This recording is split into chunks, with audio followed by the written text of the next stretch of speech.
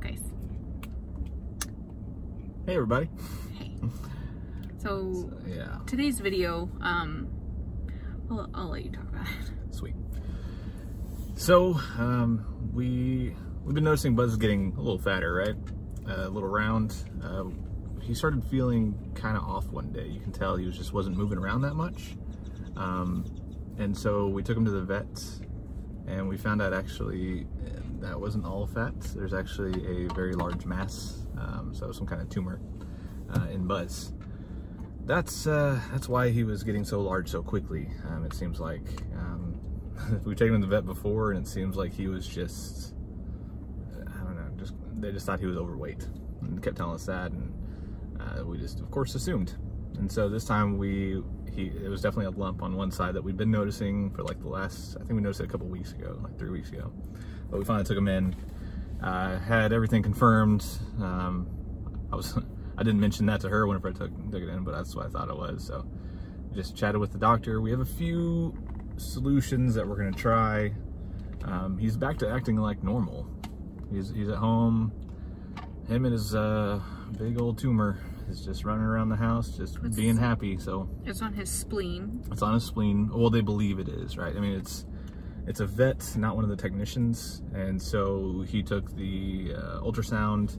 Um, he's like, I'm not very good at it, and do you mind if I do it? And I was like, all right, go for it. It's probably gonna cost a hundred or two. It's fine. Uh, I just want to know what's in there. And so uh, he confirmed it. He's like, there's, it, I don't even have to be good at this to know that's a massive tumor. So uh, he said it's not good, um, but we've had a, uh, someone reach out to us online. Uh, they have a possible solution for it. Um, well, not as, it's, well, it's like it's uh, a it prevents the growth of it and things like that. So it prolongs yeah, possibly his quality of life. right. And But- he, I looked at the report. So I was sent the report from the vet, and there's a lot of good things going for him. Good heart, um, you know, bad hips still. He's always had bad hips, especially when we did the whole Colorado trip. Him trying to get up that mountain was not not pretty, but um, he's still, you know, still running around, still excited, um, and even now he's still excited.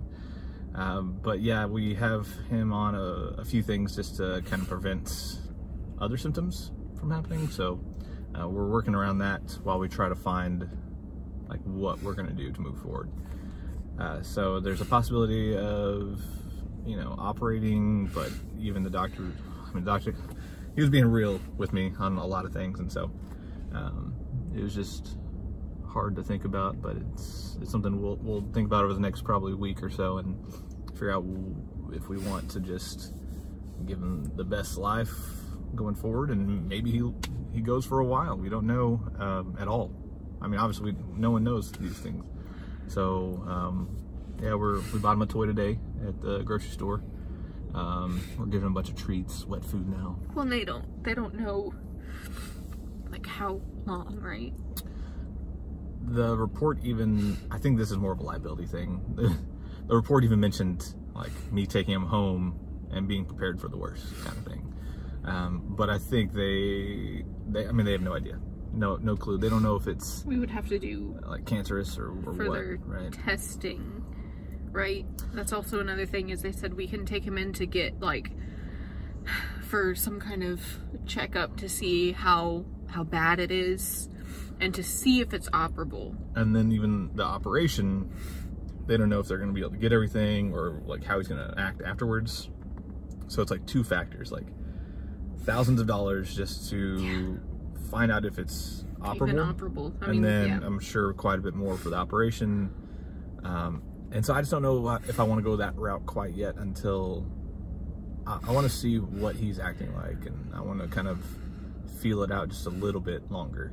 Not not weeks. I'm saying, saying like just days while while we Well, kind of wrap I our mean, minds around our, this. Discuss our options because I mean that's a lot of money. That's a lot of money. It's a lot of money that we don't necessarily have to kind of I don't know. Um, Well, yeah, and we can like just drop all at once and then Yeah. you know that's not even just I don't even know what the surgery would cost because from how bad it apparently is it would probably be a really extensive surgery um, and I I Yeah. also worry that he wouldn't even survive the surgery and then that would just be because not of how the way we want how bad it seems to be and So.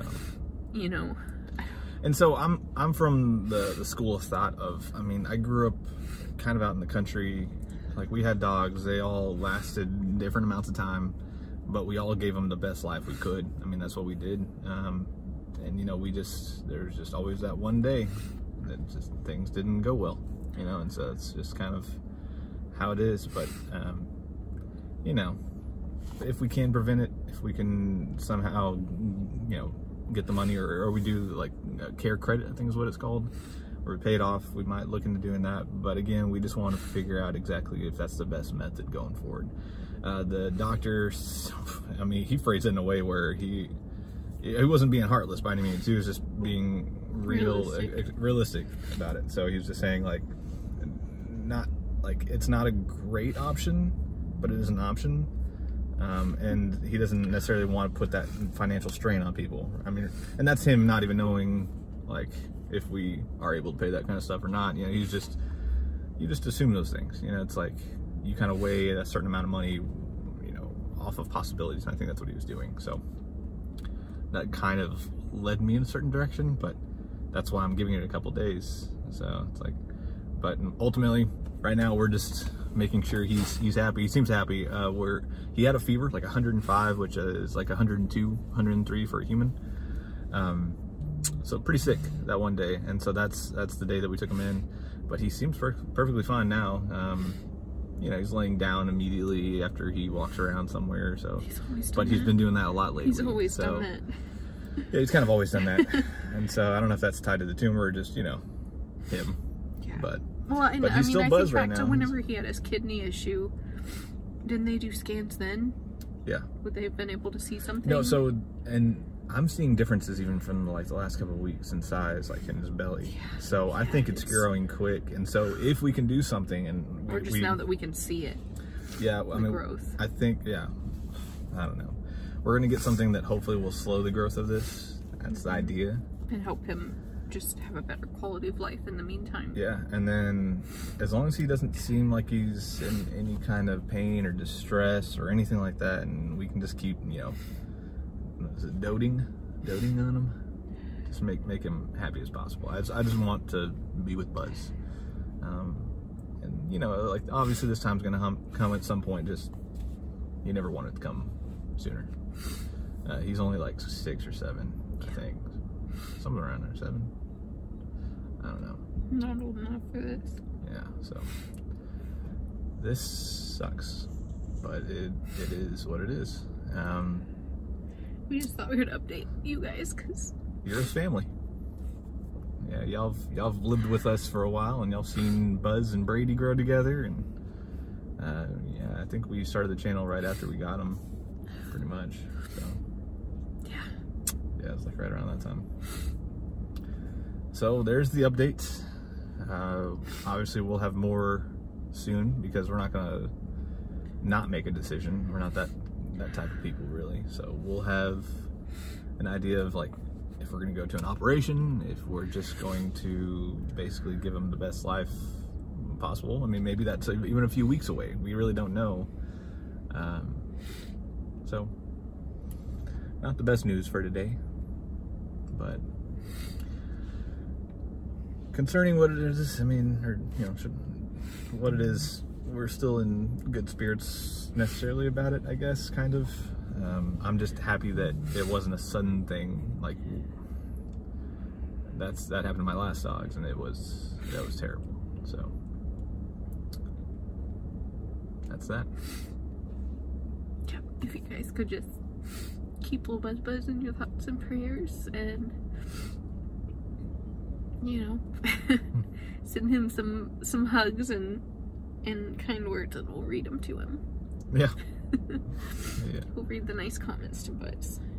And we'll think about a Blair mentioned like a bucket list or something. Yeah. So we can start doing stuff. Have him do all his favorite Yeah. things. We have a little wagon, so I mean we can take him around in a wagon if we need to. We got that for him. we got that for him. That's a Buzz wagon. That is a buzz wagon. I call it a G wagon now, but it's uh, it's buzz buzz buzz.